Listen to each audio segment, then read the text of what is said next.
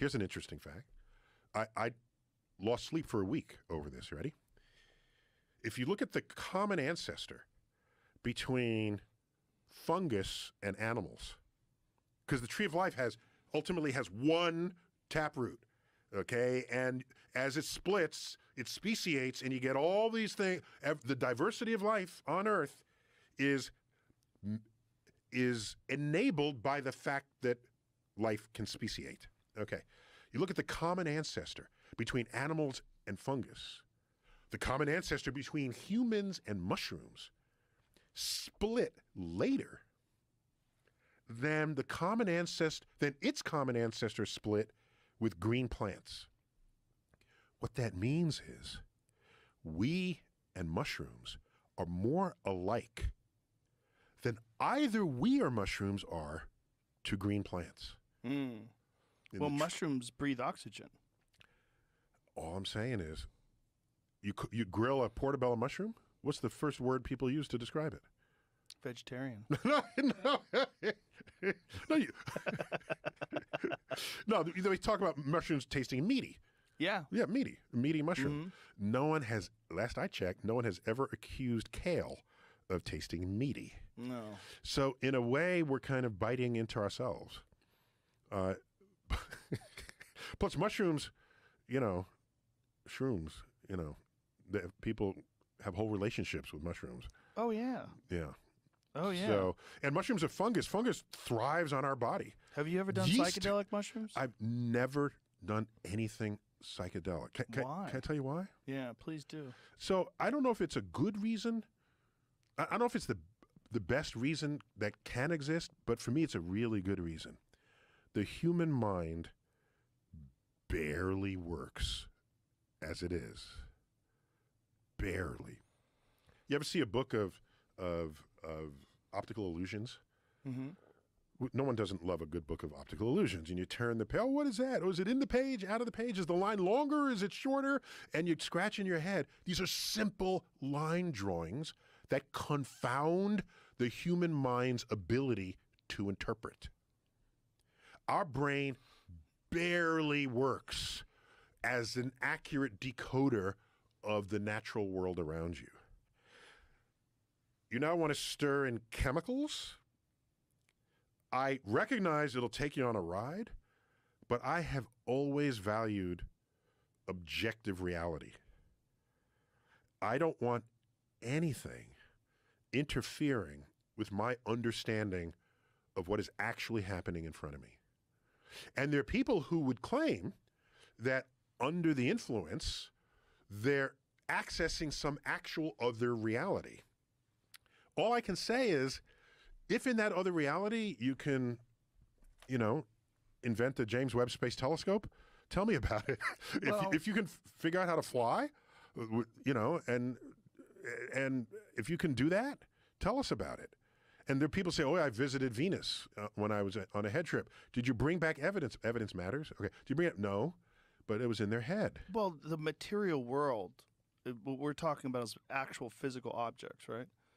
It's the like if you could the physical world, the physical universe, the physical yeah. where what they're experiencing mm-hmm. is something akin to you could call it a hallucination.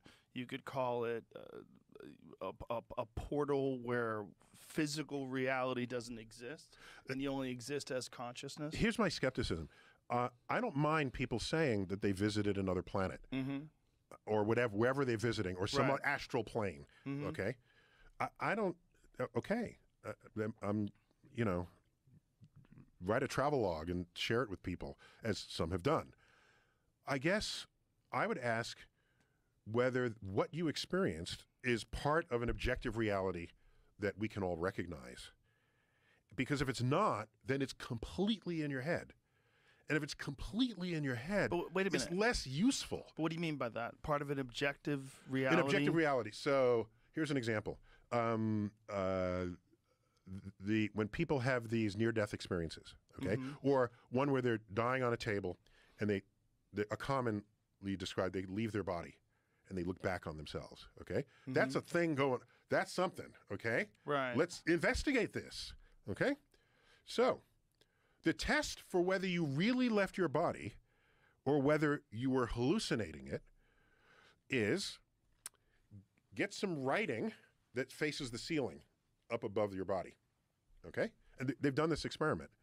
And if you're floating above your body, above that piece of paper, when you come back to life, you should be able to say what's written on that piece of paper. And that is yet to happen. If you get above it. Yeah, if you get above it, correct. That is yet to happen. That'd be So really Where would good. that piece of paper be suspended? yeah, no, you have to know, put it up on a shelf or something. Yeah, you'd be able to see, put it in a way that it would be clearly. But then the person would have to die knowing that piece of paper was there and then be brought back. um, possibly if the if. Yeah, I mean the. the so you'd the- have to tell them, hey, I, I know you're gonna die. you- you're going to die. We're gonna If you come back, Yeah. I have a piece of paper up here. That's Go read like from it. A pretty ridiculous experiment No, to try to if achieve. you care, wait, wait, wait, wait, wait. Pause. Um, Pause. from dip, ridiculous so like, experiments. hey, I know this guy's about to die, but instead of concentrating on bringing him back to life, let's write down you on do a piece of paper You know, and leave it on the of- shelf. But who the fuck is gonna do that? no, you know what they did? What? In in 1895, after Wilhelm Röntgen discovers X-rays and they find out it penetrates your body and you can see bones inside your body, you know what they did? They set up X-ray machines at the bedside of dying people to see if they can see a soul leave the body. Hmm. And everybody just got cancer from the radiation.